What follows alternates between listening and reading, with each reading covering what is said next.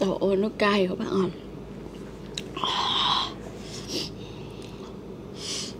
Có rất là nhiều bạn hỏi là Marie ờ, Nói chung là tại Marie cũng có nói là Marie ờ, ở Mỹ Đã từng ở Mỹ và ở Canada Nói chung lộn xộn. Thì bây giờ Marie sẽ giải thắc mắc cho các bạn ha.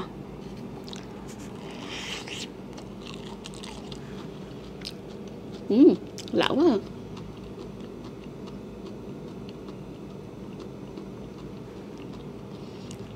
Mà không thấy nước các bạn không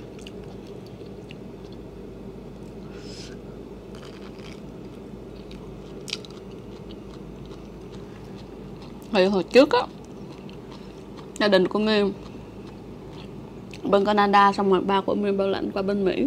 Mà nói chung là trong thời gian bảo lãnh á, thì mi ờ, quen ông xã của Mary và chi tiết quen như thế nào thì để để video sau ha.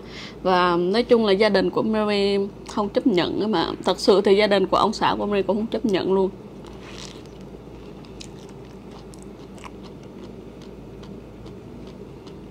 Nhưng mà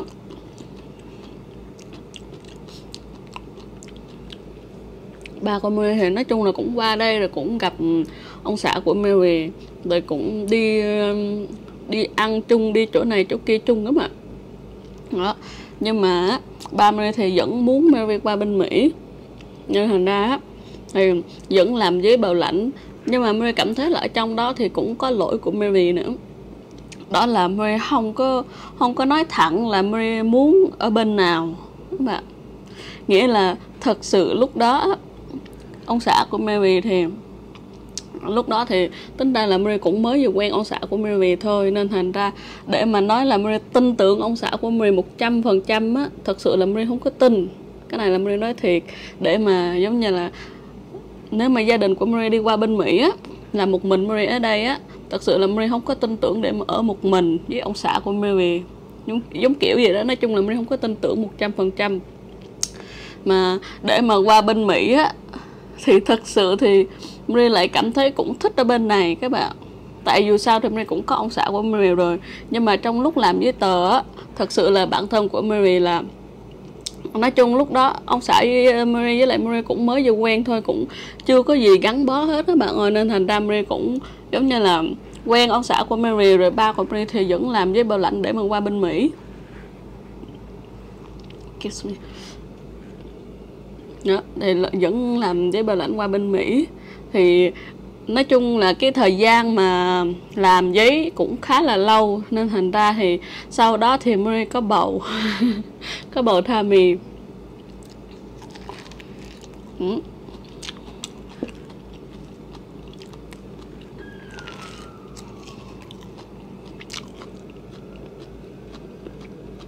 cái lý do mà gia đình của Mary phản đối là lý do thứ nhất, đó là không muốn Mary ở đây một mình. Mary, tại giống như là video trước Mary có nói là Mary ở bên Việt Nam, mẹ của Mary đã đợi Mary lập gia đình bên Việt Nam để mà ở bên Việt Nam. Rất là nhiều bà con bên Việt Nam, nhưng mà mẹ Mary không nỡ đi các bạn. Tại thương Mary xong rồi tự nhiên bây giờ á cái cảm giác của mẹ Mary là giống như là tự nhiên đi đem con qua Canada xong rồi dục bên Canada xong rồi mẹ đi Mỹ. Mà trong khi ở Canada này là Mary không biết ai luôn. Đó đó là lý do thứ nhất. Muốn gia đình ờ, sống chung với nhau. Lý do thứ hai nữa đó là um, cái này thì Mary nói thì các bạn đừng có đừng có nghĩ gì nha Mary không biết. Nhiều khi Mary nói à, mà cái cách Mary không biết nói chuyện á, làm cho các bạn cảm giác như thế nào đó thì mong các bạn thông cảm. Thật sự là Mary Mary chỉ nói để mà cho các bạn hiểu thôi, nhưng mà nhiều khi cái từ của Mary nó không có hay á. Thì thật sự là cái chỗ của Mary á, đó giờ á, cũng khá là nhiều người, quen người dân tộc kinh, cái mà thì mới là dân tộc Bana, dân tộc Trai nói chung là rất là nhiều dân tộc khác nhau nhưng mà riêng dân tộc kinh á, thì chỗ của Mary các bạn ơi 10 người lấy dân tộc kinh á, là 10 người bỏ nhau các bạn. Cái này thì Mary không biết là có thể là do tiếng nói không có không có được, hoặc là không có hiểu nhau nhiều các bạn. Thì đa, giống như là không phải là đa số mà là gần như là 10 người lấy là 10 người bỏ các bạn với lại thứ hai nữa là những người mà, giống như là người dân tộc kinh, họ lấy dân dân tộc của Mary á, đa số là họ từ xa, họ đi làm, giống kiểu như là đi làm ở chỗ đó một, hai năm hoặc là bao nhiêu năm vậy đó. Thì sau đó thì họ lại đi về hoặc là công việc của họ phải chuyển chỗ khác. Cái này thì mới không rành các bạn nha, nhưng mà từ đó giờ thì 10 người lấy người dân tộc kinh á, là hết 10 người bỏ nhau, giống như là họ họ đi, bỏ đi luôn á. Bỏ đi rồi về đâu đó mình không biết. Nhưng mà đa số là người con gái là phải tự nuôi con một mình ở nhà. Đó là lý do thứ hai mà gia đình của Mary rất rất là phản đối. Mà nhất là ở đây Mary không có quen ai nữa, là xa lạ với Mary luôn. Nên thành ra, nói chung là ba mẹ cũng thương Mary thôi. Đó là lý do mà rất là phản đối các bạn. Nhưng mà khi mà ba qua đây thì nói chung là ba cũng, kiểu như là, không cho thì là không cho rồi, nhưng mà tại em lì quá, bây giờ biết làm gì bây giờ nên thành ra cũng theo con thôi, hiểu kiểu vậy đó. Nhưng mà cái này mới tâm sự thật sự luôn.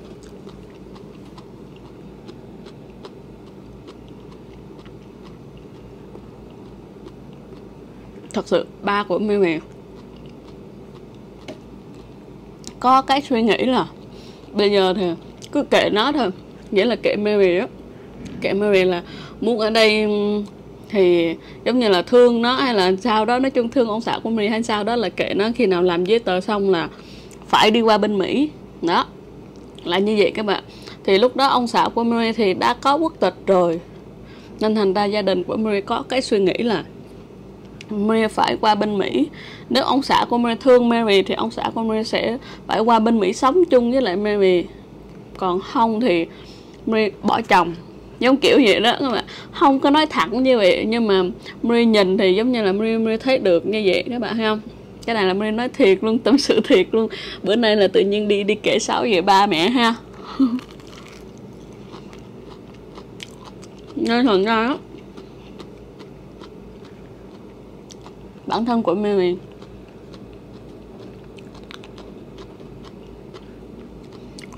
nói thật luôn, là Mary nghiêng về ba mẹ của Mary nhiều hơn là ông xã của Mary.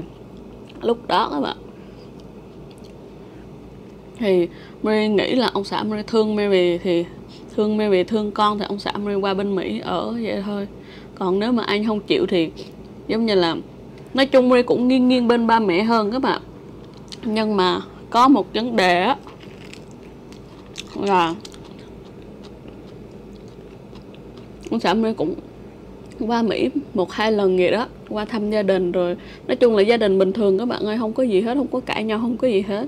Nhưng mà đình điểm là có một lần ba mẹ của Mary, bữa đó mới nhớ là Giáng sinh. Mà thì có rất là nhiều khách các bạn. Nói chung là họ không biết, Mary không biết là họ nói sao, nói gì với ba của Mary, làm cho ba của Mary rất là giận, ông xã của Mary giống kiểu như là là không chịu á. Bây giờ là không không chịu ông xã của Mary á. Giống kiểu gì để ngang ngược vậy đó. Bữa đó ông xã của Mary chạy từ bên Canada qua bên Mỹ là 14 tiếng các mà tới bên Mỹ là hình như là buổi tối rồi. Mà mùa đông nữa, nó nhanh tối nữa, là khoảng 8 9 giờ vậy đó là một, hai, ba Mary không cho ông xã Mary vô nhà các bạn.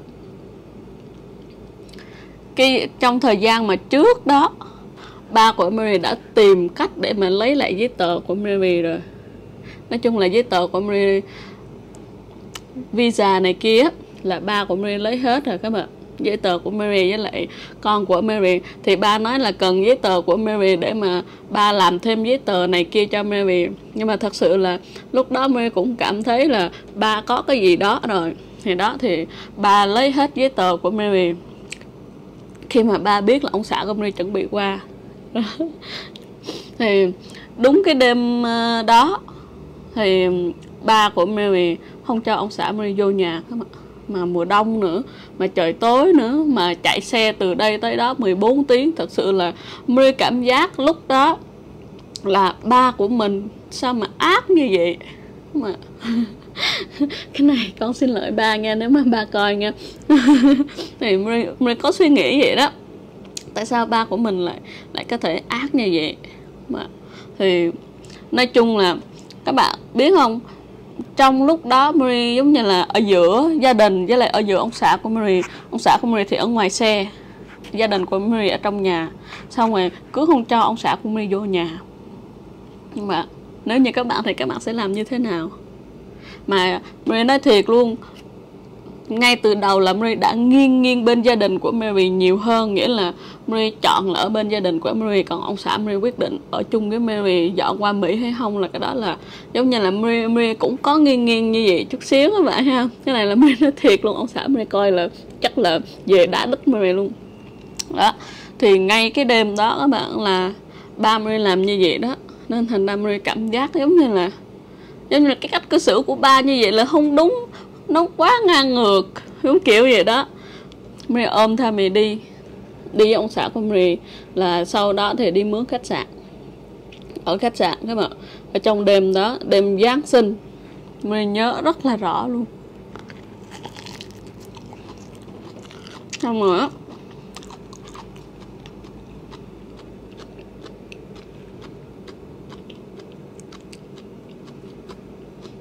trong cái đêm đó trong lúc mà Mày ờ, mới vừa mướn xong cái khách sạn. Mày vẫn nhớ cái cái khách sạn đó mà vẫn nhớ cái cái cảnh đó. Và tới bây giờ là cứ Mary thấy cái cái khách sạn đó là nó lại bị ám ảnh Mary luôn.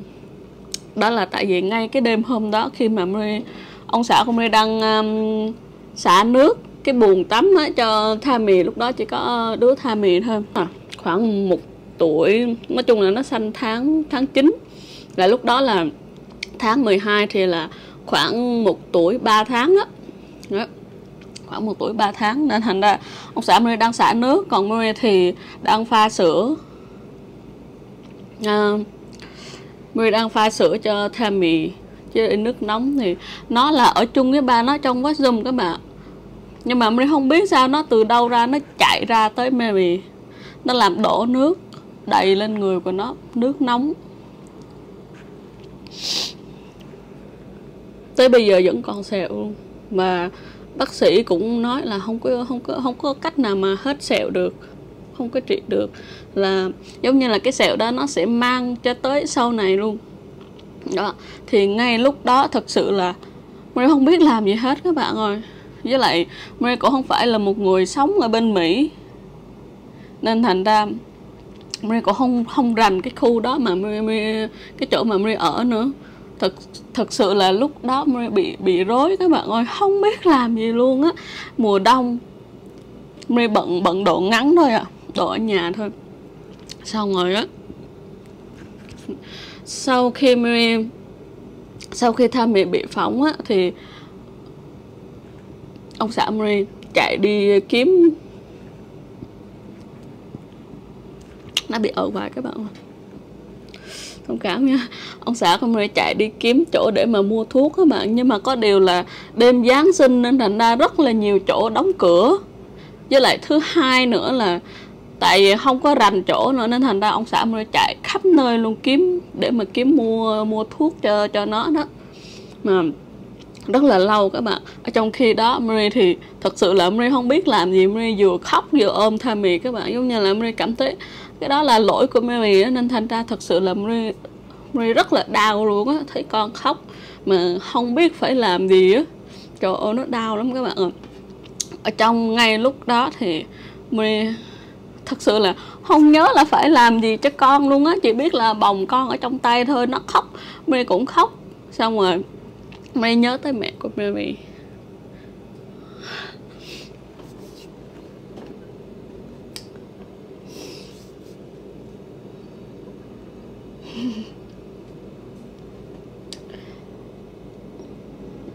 Thật sự mình không có không có nhớ tới ai luôn á. Mình nhớ tới mẹ của Mary xong rồi mình cầm cái phone lên, mình phone cho mẹ mình bị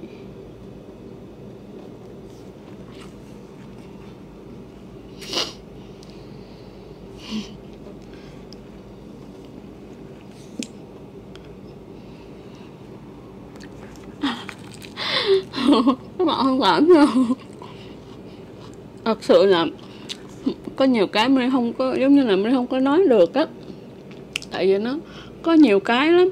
Nếu như mà Marie nói giống như là sơ sơ thì nó lại, các bạn lại không có hiểu được cái cốt truyện, giống như là không có hiểu được là như thế nào, như thế nào. Bây giờ Marie nói không phải là để nói người nào đúng, người nào sai các bạn ha. Marie chỉ kể lại cho các bạn thôi.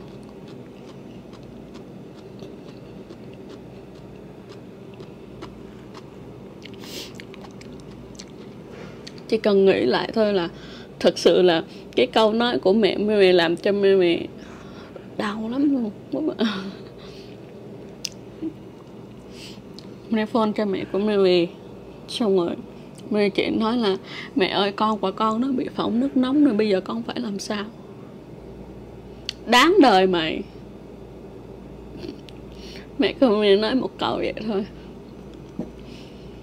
Giống như là mẹ mẹ mới nói là đáng đời cho mày, tại vì lì không có nghe lời ba mẹ đó. Mẹ chỉ mẹ chỉ nói, nghe xong mẹ nói một câu đó là mẹ cúp phone liền luôn. Là, giống như là lúc đó mới thật sự là rất là phải nói như sao ta? Rất là buồn các bạn ơi.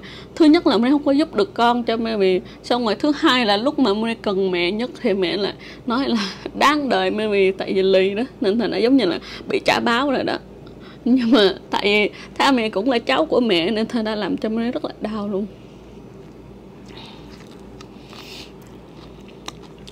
Xong rồi từ đó thì mẹ không có liên lạc với mẹ nữa. Và ba của mẹ, ba của mẹ thì nói chung là ba của mình giận giận Mary nhưng mà sau đó thì vài ngày, giống như là Mary còn còn ở đó khoảng một ngày hay gì đó. Nhưng mà mà lúc đó Mary không có dám đưa tha mì đi bệnh viện các bạn. Mà phải ờ, bôi thuốc cho nó cho đỡ thôi. Trời ơi, nó đau lắm các bạn xong rồi ông xã của memo thì nói chung là bôi thuốc cho nó thôi các bạn ơi cho hy vọng là nó đỡ thôi. Mà thật sự là Marie cũng không biết như thế nào luôn không biết phải làm sao luôn. Đó. Thì à, Marie ở đó khoảng khoảng một ngày hay là chắc là hơn một ngày hay gì đó. Thì à, Marie nói chung là lúc đó em gái của Marie chưa có lập gia đình nên thành ra hai chị em rất là gần nhau các bạn. Marie với, với em gái của Marie thì mới nói chuyện với em gái này kia thôi. Còn lại thì sau đó thì em gái của Mary với lại mẹ của Mary có đi qua khách sạn để mà thăm các bạn. Nhưng mà thật sự luôn là Mary rất là giận mẹ. Giống kiểu không phải không phải là giận mà là Mary rất là buồn mẹ. Kiểu như là thất vọng á. Lúc đó.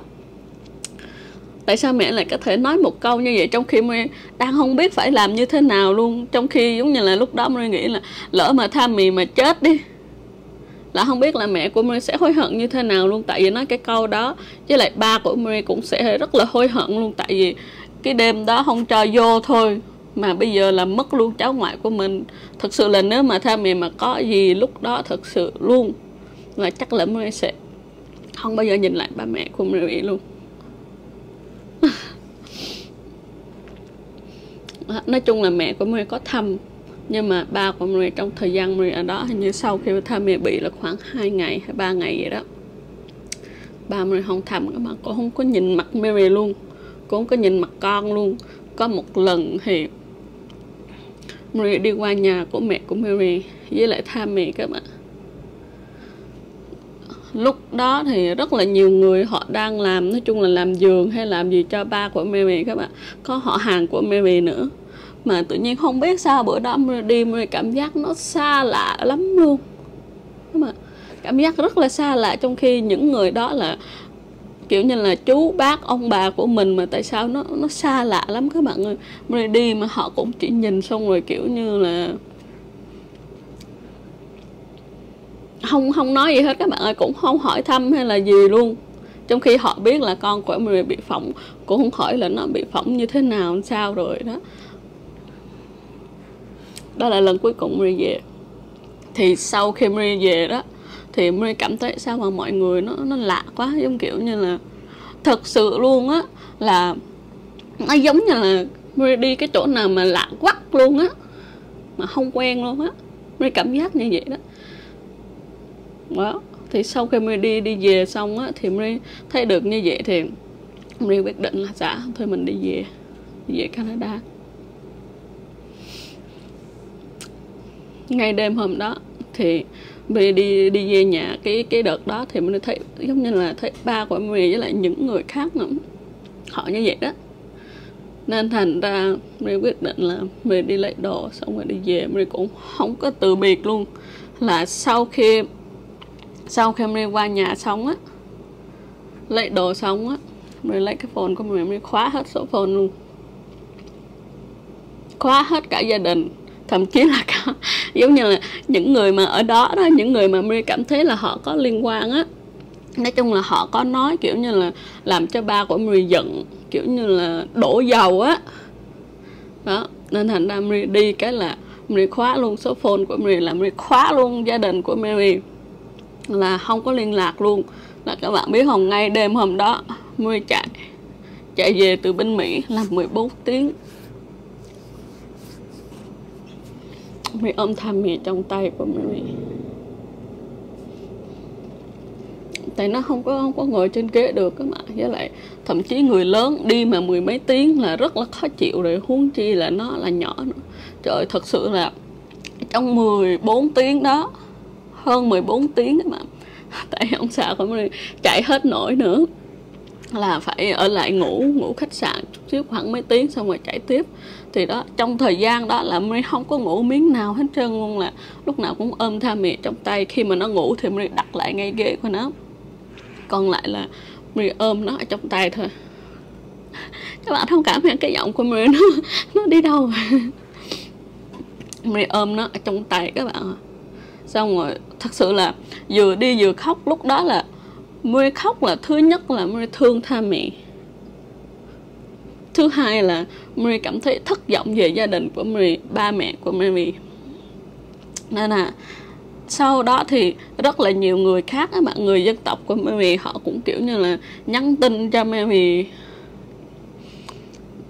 phải gọi là chửi chứ không phải là nhắn nữa các bạn. Chửi, nói là Mary lì không nghe lời ba mẹ này kia, trong khi trong cái cái chuyện cái chuyện của Mary thật sự luôn là không ai biết các bạn ơi. Bây giờ Mary kể thì thì những người khác mới biết thôi, với lại ba mẹ của Mary luôn, nếu mà họ coi video này thì họ mới hiểu được cái cảm giác của Mary thôi.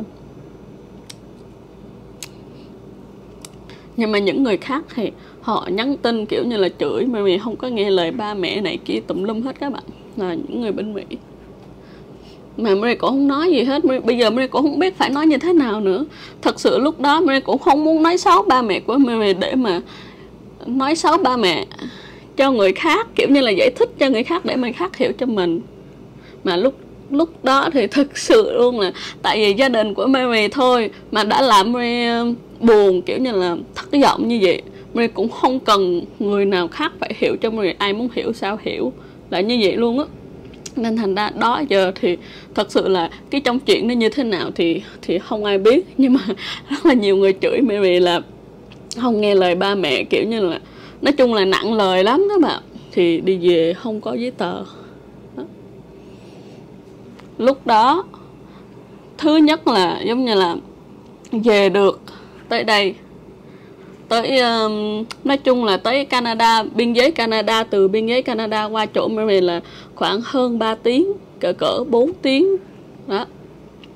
Là chạy 10 tiếng từ bên kia tới đó. Nếu mà họ không có cho qua bên Canada là Mary phải chạy về lại bên bên ba mẹ của Mary để mà xin giấy tờ, hoặc là Mary cũng không biết phải làm như thế nào nữa, nhưng mà bây giờ là làm giống như là chơi đại thôi.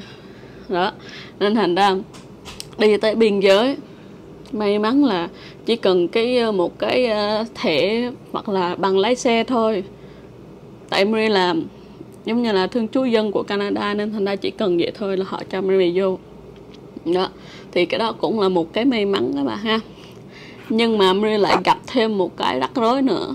Đó là khi mà Mary chở Tammy tới bệnh viện. Trời ơi, bác sĩ rất là giận. Tại các bạn biết, ở nước ngoài thì họ rất là thương trẻ em mà thương lắm luôn. Mà bác sĩ giờ nó muốn phone cảnh sát. Mà muốn phone cảnh sát mà mới phải khóc xin đó mà tin không mới phải khóc xin là giống như là, giống kiểu như là mới mới không biết nói chung là bây giờ mới biết nói sao bây giờ. Mới chỉ nói là mới không biết xin nó thông cảm này kia thôi. Còn họ thì họ, bệnh viện họ muốn phone cảnh sát để mà giống như là Maria không có thương con Maria không có chăm sóc cho con, không có lo cho con á. Tại vì con bệnh như vậy mà không có đưa đi bệnh viện mà đợi mấy ngày sau mới đưa. Thật sự là cái thời gian đó làm cho Maria lại giận thêm ba mẹ của Mary nữa. Các bạn Mary không biết nữa. Chắc là Mary không bình thường hay gì đó đó, thì nói chung là họ họ muốn phone cầm cái phone lên, các bạn ơi Mary khóc. Mary khóc Mary xin là giống như là xin xin cho Mary lần này thôi. Nói chung là không cần biết nói tiếng Anh, tiếng Việt gì, nhưng mà họ thấy Mary khóc kiểu như là nức nở quá, xinh quá. Chắc họ cũng hiểu Mary nói gì đâu. Nên thành ra họ cũng nói là vậy thì giống như là cho Mary cơ hội lần này. Thật sự luôn, nếu mà lần đó mà họ phone á, phone cho cảnh sát á, thì có thể là mình sẽ phải phải ra tờ này kia rất là nhiều để mình nhận lại con các bạn ha. Tại vì nếu mà mình không có, giống như họ thấy mình không có lo được cho con, không chăm sóc cho con thì họ sẽ lấy con của mình để mà họ họ lo, họ chăm sóc, không cho mình nuôi nữa. Giống như là mình là người, kiểu như là, không có thương con á, hành hạ con này kia đó. Nên thành ra mới xin rất là nhiều thì lúc đó họ mới mới chấp nhận các bạn. Mới chấp nhận là họ tha cho Marie lần này, họ sẽ không có phone cảnh sát thì sau đó thì họ mới trị cho tha mẹ các bạn. Thì sau cái vụ đó thì nói chung là với gia đình của Marie là Marie cắt hết luôn rồi đó, là lúc mà Marie ôm tha mì đi là ở trong ở trong đầu của Marie là Marie không còn ba mẹ nữa. Vậy thôi các bạn. Là Marie không còn ba mẹ nữa, nên thành ra thật sự luôn là mày biết là lúc đó ba mẹ của Marie chắc là cũng rất là lo các bạn ơi. Rất là lo cho Marie là ba mẹ của Mary cũng không ngờ là Mary không có giấy tờ trong người, mà cũng dám đi. Đó là ba mẹ của Mary không ngờ. Và thứ hai là ba mẹ của Mary kiểu như là lo, tại vì biết Tammy bị bị phỏng. Mà bây giờ là không nghe được tin tức luôn á, thật sự là Mary cũng biết là ba mẹ rất là lo cái vụ đó luôn. À... nói chung là cái câu câu chuyện đó là Mary cảm thấy đó là cái đỉnh điểm các bạn ha. Tất nhiên là cũng sẽ có nhiều chuyện khác nữa, lần sau Mary sẽ kể cho các bạn tiếp ha. Các bạn ơi Mary cảm thấy video này dài quá, chắc là Mary sẽ đăng video Mary ờ, nói chuyện tâm sự với các bạn riêng các bạn nha. Rồi bây giờ thì Mary sẽ ờ, dừng video ở đây ha. Cảm ơn các bạn đã xem hết video của Mary hẹn gặp các bạn trong video tới.